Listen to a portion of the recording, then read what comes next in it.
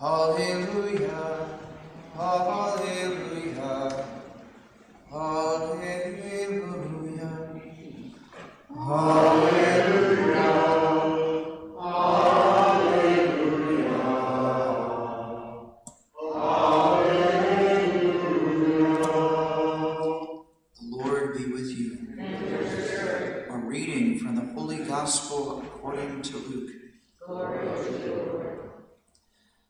Jesus went up to the mountain to pray, and he spent the night in prayer to God. When day came, he called his disciples to himself, and from them he chose twelve, and he also named apostles Simon, whom he named Peter, and his brother Andrew, James, John, Philip, Bartholomew, Matthew, Thomas, James the son of Alphaeus, Simon, who is called a zealot, and Judas the son of James, and Judas Iscariot became traitor.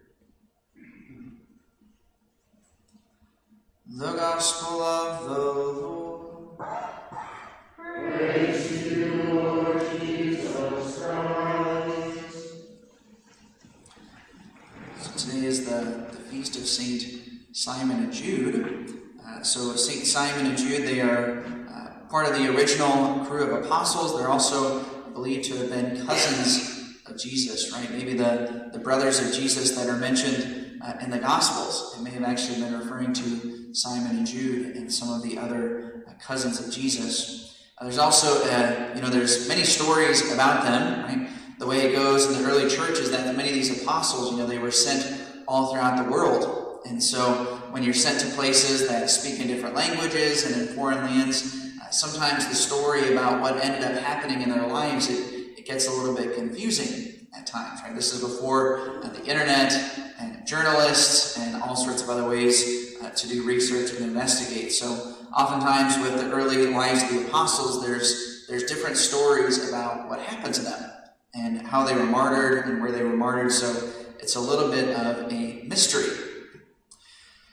But one of the things the church gives us on this feast of St. Simon Jude is this letter from the Ephesians. And this reading from this letter to the Ephesians, it talks about the mystery of the church. It's fitting that over the last couple weeks we've been hearing readings from St. Paul's letter to the Ephesians. And really, at the heart of St. Paul's letter to the Ephesians is the idea of the mystery of the church. The mystery of the church something that is very uh, needed in our own day. Ever since the Protestant Reformation over the last 500 years, the, the church has come under attack. And there are many people who want to say that you can be a Christian without belonging to any church, or that you can be spiritual without any of the religious baggage that comes with being a member of the church. And so, what the Catholic Church has been doing, especially over the last 60 years, is trying to explain to people the importance of the church. A document that would be well worth uh, reading is one of the uh, Vatican II documents. It's the Constitution on the Church. It's called Lumen Gentium. The church is the light of the nations. That's what Lumen Gentium means. So, if you want a, an understanding of how the church thinks of herself, there's no better place to read than that document, Lumen Gentium. And there is a mystery to the church. When we say mystery, it doesn't mean that, you know, we don't know the answer or we know nothing about it. It means that there's something invisible, something mysterious, something below the surface that is taking place. That in the church, we might see a building with, you know, walls and floors and ceilings. But when the church speaks about the church, she's talking about the mysterious reality, right? The communion that all of us are a part of. Right? The fact, for example, that as members of the church, as St. Paul says here, we are no longer strangers and sojourners. We are fellow citizens with the saints, members of God's very household. And I remember something that was very striking to me. I remember when I was studying theology and I learned about the, the three parts of the church. I always thought of the church as just, you know, you and I, and all of us here on earth. Where we're only one third of the church. We're the church militant on earth, but there's also the church suffering in purgatory and the church triumphant in heaven. We are by far the smallest sector of the church as well. We are members of the church not just with our fellow parishioners, but with the saints in heaven and the angels of God. We're the smallest part of the church. And there's this huge, vast multitude members of the church in purgatory and in heaven. And every time we come to Mass, the three different aspects of the church, they're all mysteriously made present to one another. And the communion is stronger than it is at any other time. This is one of the main points of the church's Lumen Gentium document, right? Trying to get people to see what's below the surface to understand that we are members of this church that we can't always see.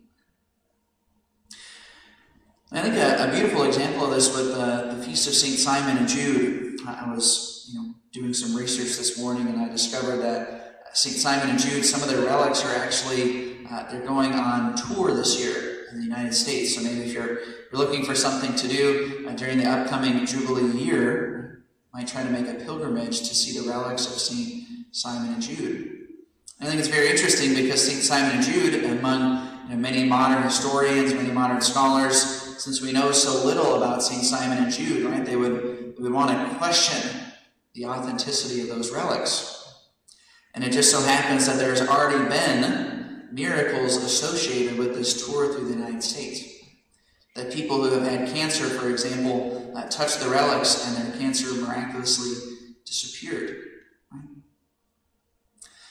In our modern age, we're very skeptical of things that we can't see, and yet, almost everything about the church is things that are invisible, things that we can't see. The Eucharist looks like bread and wine.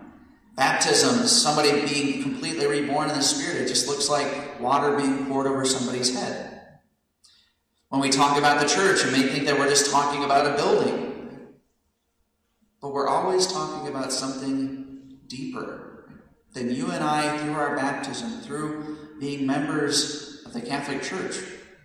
We're not just members of St. Bernard, we're members of the citizens of the saints, the very household of God. These apostles we celebrate today, we can call our brothers, not just examples to us, but we're members of the same family. It's an amazing reality to be a member of the church.